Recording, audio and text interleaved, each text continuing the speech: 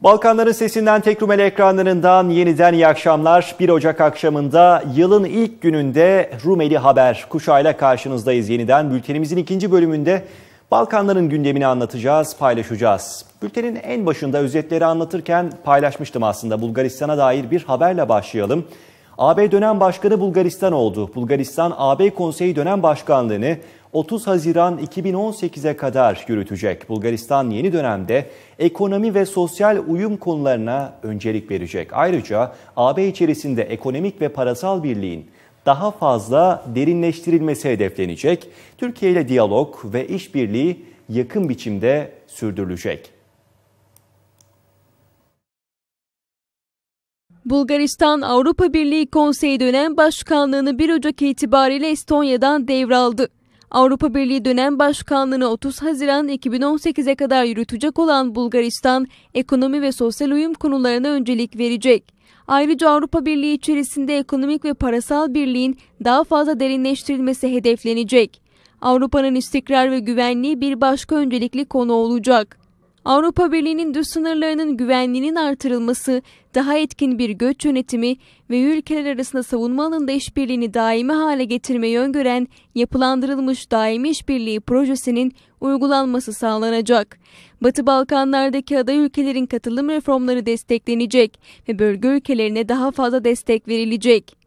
Dijital ekonomi ve bu alandaki iş gücünün geliştirilmesi öncelikli bir başlık olacak. Türkiye ile diyalog ve işbirliği yakın biçimde sürdürülecek. Türkiye-Avrupa Birliği sığınmacı mutabakatının tam olarak uygulanması desteklenecek. Türkiye ve Batı Balkan ülkeleriyle terörle mücadele konusunda işbirliğine özellikle önem verilecek. Avrupa Birliği Konseyi dönem başkanlığı 6 aylık sürelerle üye ülkeler arasında dönüşümlü olarak üstleniliyor. Dönem başkanı ülke Avrupa Birliği Konseyi toplantılarına başkanlık ediyor ve Avrupa Birliği için öncelikli konuların belirlenmesini sağlıyor. 2018'in ikinci yarısında Avrupa Birliği dönem başkanlığı görevini Avusturya devralacak. Sayın seyirciler Bulgaristan bugünden itibaren resmen AB dönem başkanı. Bulgaristan'ın 6 aylık programında Türkiye'yi dışladığı görüldü. Sofya Türkiye'nin AB sürecine ilişkin tek bir cümle kullanmazken Batı Balkanları AB genişlemesinin odağına yerleştirdi. AB ve Bulgaristan 17 Mayıs 2018'de Batı Balkanlar için Sofya'da özel bir zirve düzenleyecek.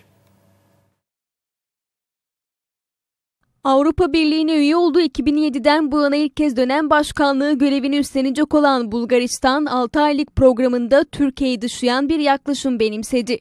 1 Ocak'ta dönem başkanlığını Estonya'dan devralacak olan Bulgaristan, genişleme sürecinin ana önceliklerden biri olacağının altını kalın şekilde çizdiği programında Türkiye'nin Avrupa Birliği sürecine ilişkin tek cümle kullanmazken Batı Balkanları odağa yerleştirdi. Genişleme sürecinde Batı Balkanlar ve Türkiye'yi birbirinden ayırma yaklaşımı son dönemde Brüksel'de de iyiden yerleşmeye başlamış durumda. Bulgaristan'ın 6 aylık yol haritasında Bulgaristan dönem başkanlığı Türkiye ile diyalog ve işbirliğini sürdürme doğrultusunda çalışacaktır ifadesiyle yetindi. Türkiye için bu cümlenin kullanıldığı paragrafta Batı Balkanlar için ise Batı Balkanların geleceği Avrupa hedefinde yatmaktadır denildi. Bulgaristan bu ülkelerin ilerleme sağlamasına yardım etmek için yoğun şekilde çalışacağını vurguladı.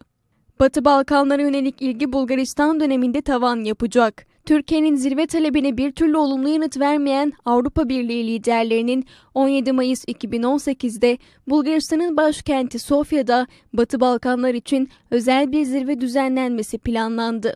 Avrupa Birliği üyesi ülkelerin devlet ve hükümet başkanlarının katılacağı zirve gayri resmi nitelikte olacak. Avrupa Birliği'nin Batı Balkanlar ilgisi bununla da sınırlı kalmayacak. Şubat 2018'de Avrupa Birliği Komisyonu Başkanı'nın Sırbistan ve Karadağ'ın Avrupa Birliği'ne katılımına yönelik bir strateji belgesi açıklaması öngörülüyor. Genişleme konusunda Türkiye'ye mesafeli duran Bulgaristan, kendisini de doğrudan ilgilendiren Brüksel ile Ankara arasındaki mülteci krizi odaklı 18 Mart mutabakatına büyük önem veriyor.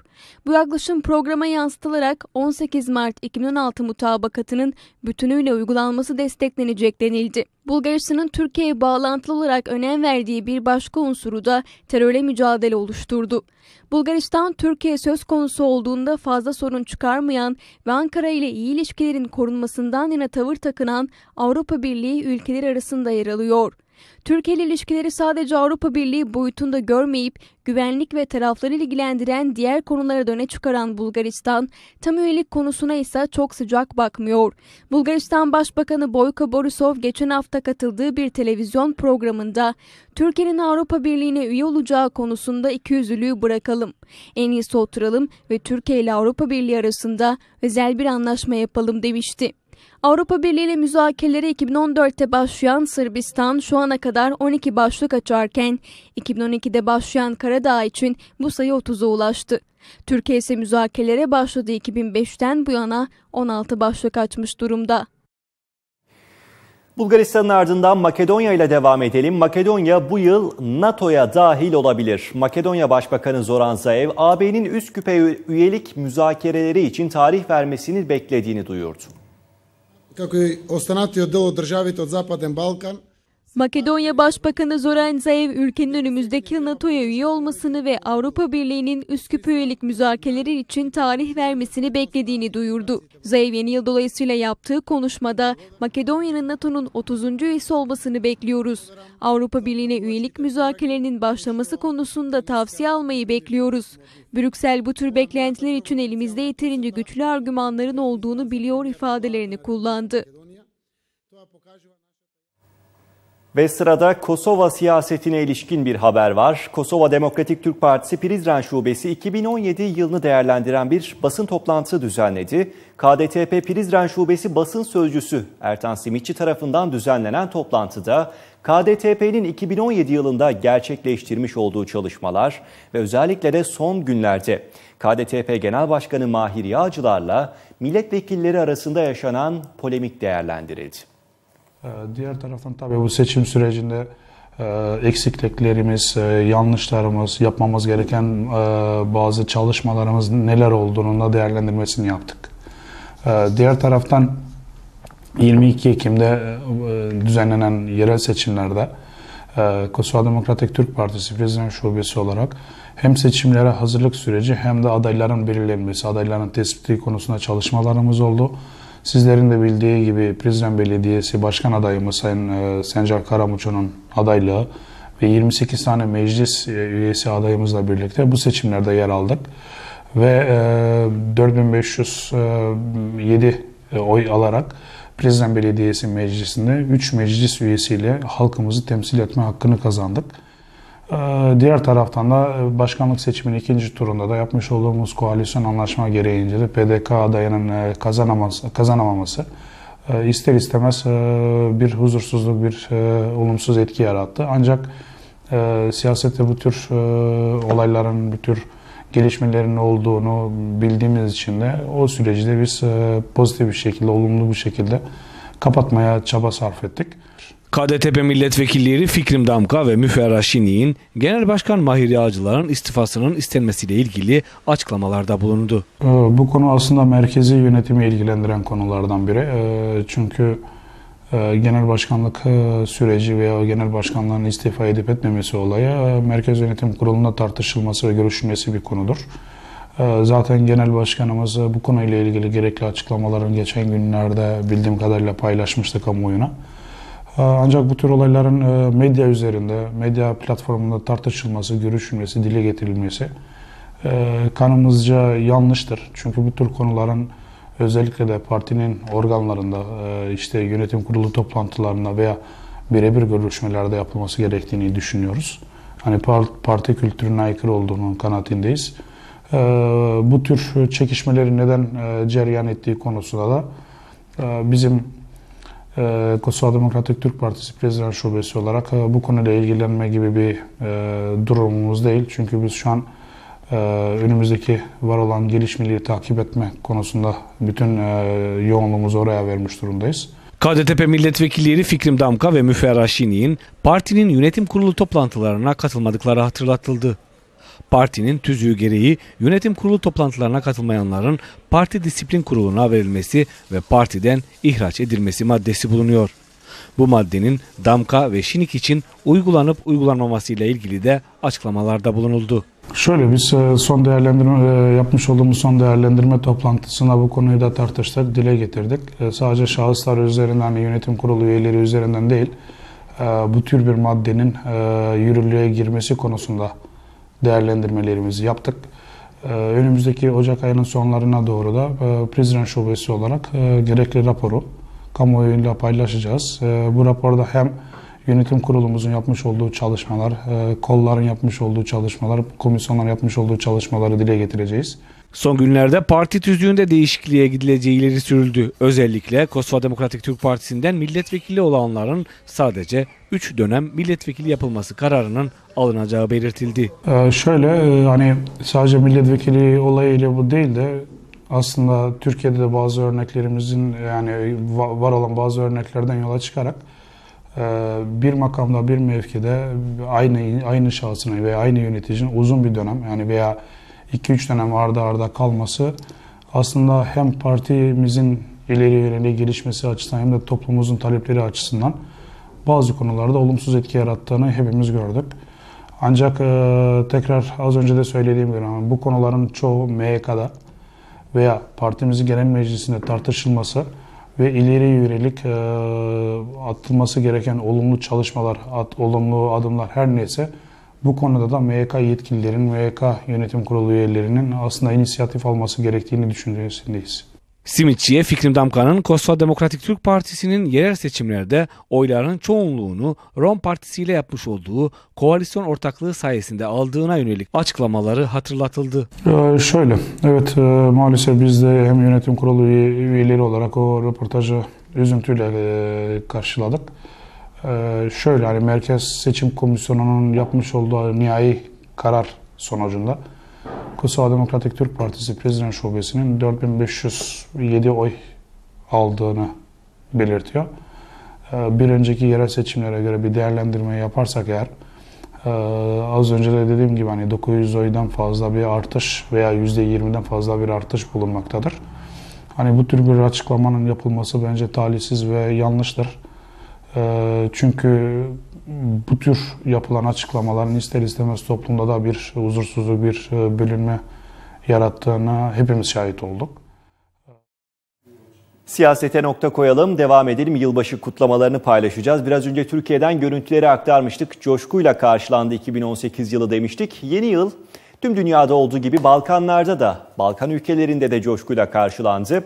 Bosna Hersek, Arnavutluk ve Kosova 2018'e konserler ve havai fişek gösterileriyle başladı.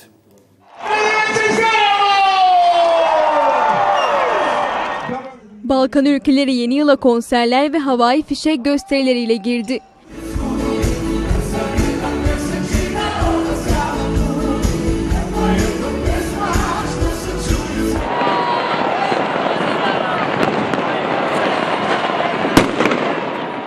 Bosna Hersek Meydanı'nda toplanan binlerce kişi Zdravko Kolic'in şarkıları eşliğinde eğlendi.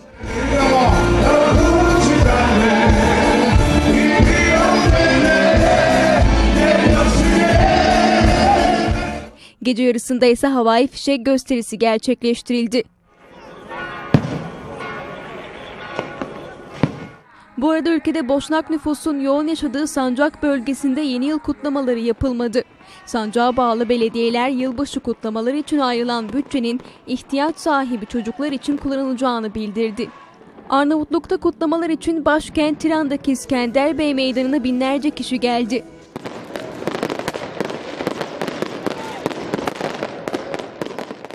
Burada da 2018 yılı konser ve havai fişek gösterileriyle karşılandı.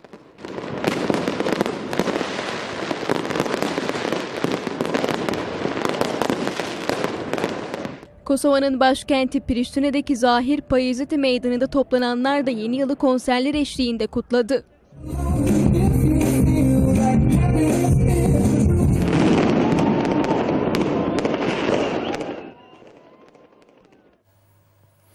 Başbakan Yardımcısı Hakan Çavuşoğlu ile Bursa Büyükşehir Belediye Başkanı Ali Nur Aktaş yeni yıla vatandaşlarla birlikte girdi.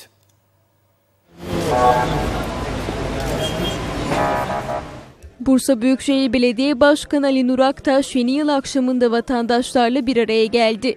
Başkan Aktaş, Başbakan Yardımcısı Hakan Çavuşoğlu ile birlikte önce Atatürk Caddesi ve set başında esnafı ziyaret etti.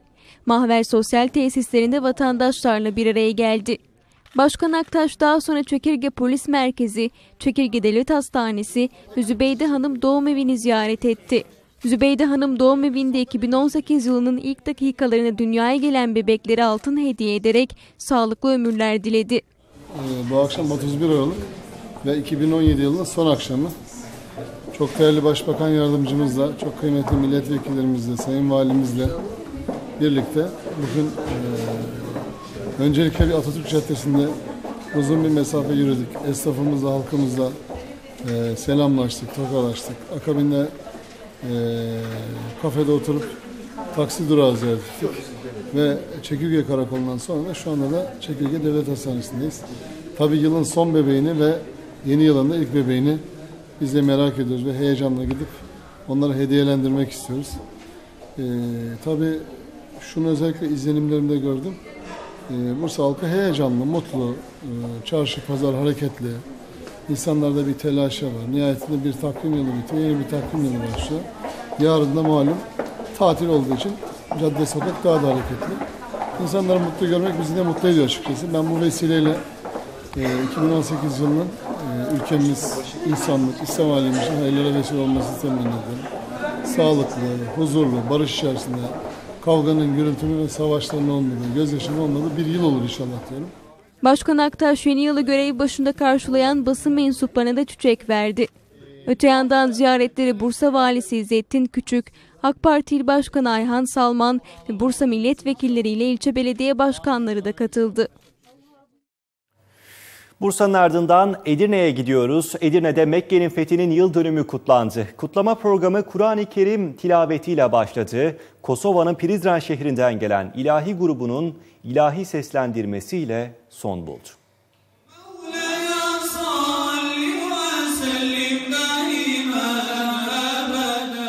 Anadolu Gençlik Derneği Mekke'nin Fethi ve Kudüs Gecesi etkinliği düzenledi.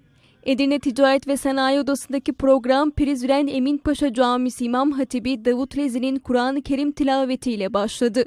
Anadolu Gençlik Derneği Edirne Şube Başkanı Abdülhamit İriş, Mekke'nin fethinin İslam tarihi açısından önemini anlattı. İnsanlık tarihi açısından son derece önemli bir gece. Mekke'nin fethi çünkü kılıçla, tankla, topla, tüfekle, okla, mızrakla kazanılmamıştır. Mekke'nin fethi rahmet ve merhamet peygamberi olan Efendimiz Aleyhisselatü Vesselam'ın insanlığın gönlüne girerek gönüllerin fethiyle gerçekleşmiştir. Alınacak birçok dersler vardır. Fetih kavramı çok önemlidir. Biz her sene tekraren Mekke'nin fethini kutluyoruz. Çünkü fetih gençlerimize aktarmak mecburiyetindeyiz. Fetih kavramını anlamak mecburiyetindeyiz. Bugün fetih ruhuna insanlığın her zamankinden çok daha fazla ihtiyacı var. Fetihle işgali birbirinden ayıran özellikleri gençlere, gençlerimize aktarmak zorundayız. Çünkü fetih, fethe giden yol kalplerden geçtiğine inanıyoruz. Program Prizren'den gelen ilahi grubunun ilahi seslendirmesiyle sona erdi.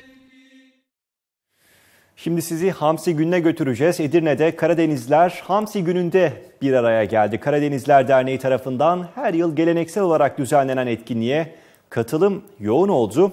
Etkinlikte o günde yani yarım tona yakında hamsi tüketildi.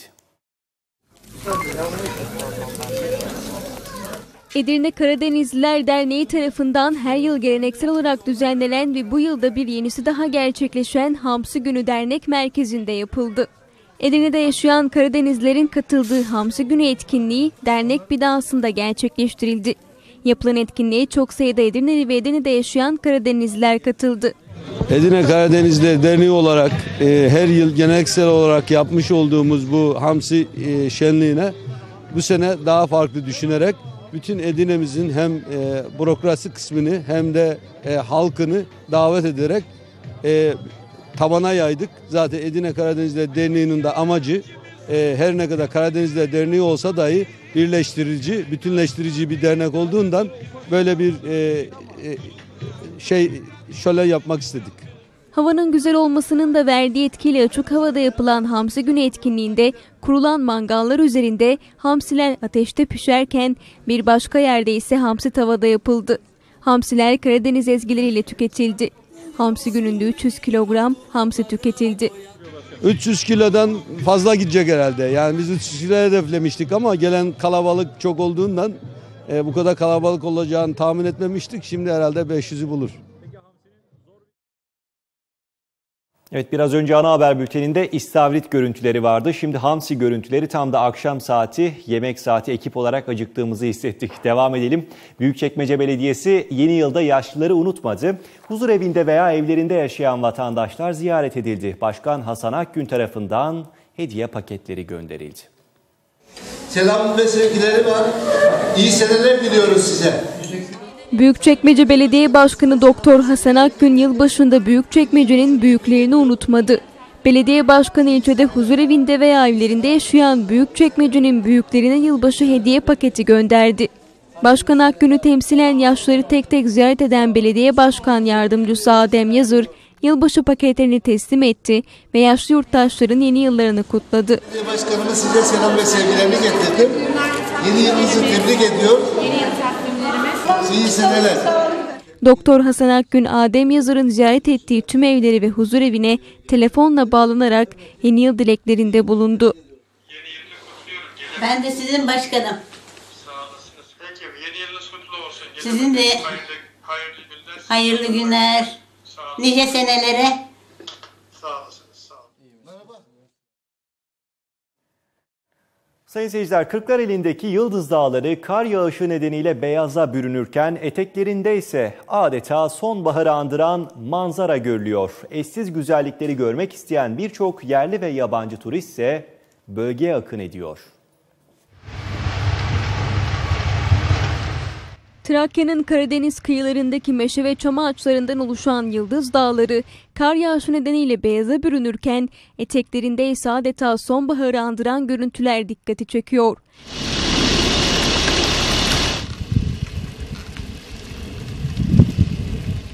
Türkiye'nin metrekareye en fazla ağaç düşen bölgelerinden biri olarak bilinen ıstıranca ormanlarını da içerisinde barındıran Yıldız Dağları geçen gün etkili olan kar yağışı nedeniyle beyaza büründü. Isırancıların etekleri ise Balkan soğuklarına inat hem hava sıcaklığı hem de görünüşü itibariyle sonbahar aratmayan görüntüler sunuyor.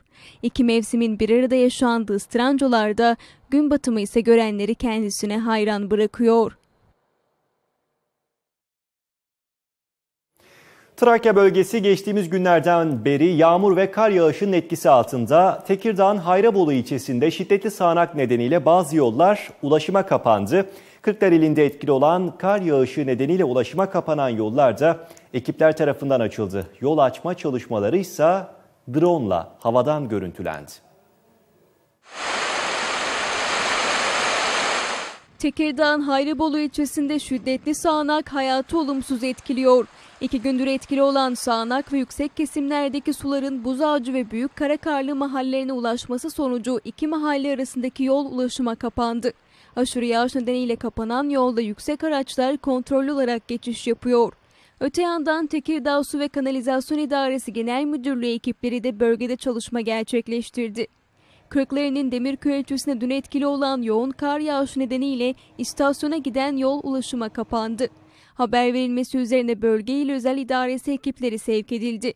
Bölgede kar küreme aracıyla yaklaşık 3 saatlik yoğun çalışma sonucu yol trafiği açıldı. Çalışmalar havadan drone görüntülendi.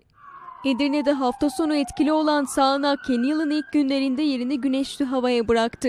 Kış mevsimine rağmen güneşli havayı gören vatandaşlar park ve bahçelerle nehir kenarında vakit geçirdi. Edirneliler mevsim normalleri üzerindeki havanın tadını çıkardı. Havanın güneşli olmasını fırsat bilen vatandaşlar Selimiye Meydanı, Sanatçılar Caddesi ve nehir kenarları başta olmak üzere cadde ve sokakları doldurdu. Mevsim normallerinin üzerinde seyreden hava sıcaklığı Edirne'de 13 derece olarak ölçüldü. Hava sıcaklığının bu değerlerde hafta ortasına kadar süreceği belirtildi. Ege Denizi'nde yasa dışı geçişlerle mücadele devam ediyor. Aydın'ın Didim ilçesinde denizden yasa dışı yollarla Yunanistan adalarına gitmeye çalışan 46 göçmen ekipler tarafından yakalandı. Aydın'ın Didim ilçesinde yasa dışı yollarla yurt dışına geçmek isteyen 46 kaçak göçmen yakalandı. Sahil Güvenlik Komutanlığı ekipleri kaçak göçmenler olduğu ihbarı üzerine Fener mevkisinde hareket etti. Ekipler Yunanistan'a gitmek üzere iki şişme bot içerisindeki 46 kaçak göçmeni yakaladı. Suriye ve Afganistan uyruklu kişiler Didim İlçe Emniyet Müdürlüğü ekiplerine götürüldü. Yabancı uyruklu vatandaşların işlemlerinin tamamlanmasının ardından Aydın İl Göç İdaresi Müdürlüğü'ne gönderileceği öğrenildi.